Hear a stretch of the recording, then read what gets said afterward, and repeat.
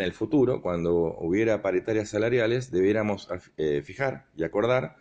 que los casos de mora, por ejemplo, ¿no? En el pago de una obligación, porque un acuerdo salarial es un contrato, un, convenio, pero cuando se resuelve eh, por la Secretaría de Trabajo se transforma en instrumento de ley. Y ahí es lo que yo quiero plantearle a los señores diputados y también eh, queríamos ver si cabe la posibilidad o, si está ajustado a derecho, lo que fuera, eh, directamente ir al Ministerio Público Fiscal y plantear la violación a la ley. Eh, ¿En qué sentido? Eh, digo, si un funcionario dice que no se puede o no se debe o no o, resuelve no, no aplicar la ley, que en este caso sería la resolución de, trabajo homologado porque es un instrumento de ley,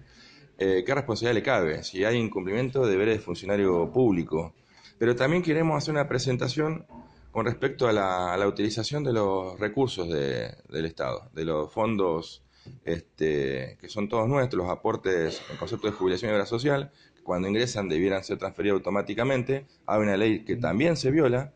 la ley de creación del instituto y de toda la legislación previsional, eh, dos o tres eh, planteos en, en el Ministerio Público Fiscal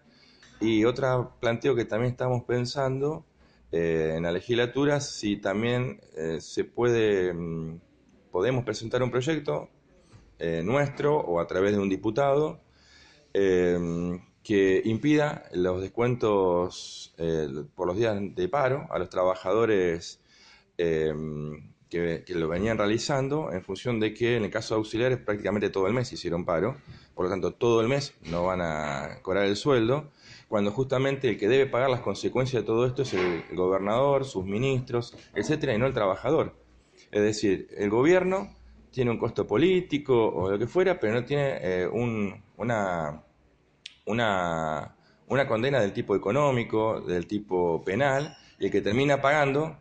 este, justamente todo lo, todo lo dañoso que, que, que ha originado el gobierno es el trabajador pagando los intereses por el pago tardío del alquiler, de los servicios, etcétera, la tarjeta, de los préstamos y además le van a descontar los días de paro. Y justamente cuando el trabajador no ha sido el responsable de todo esto, de todo esto.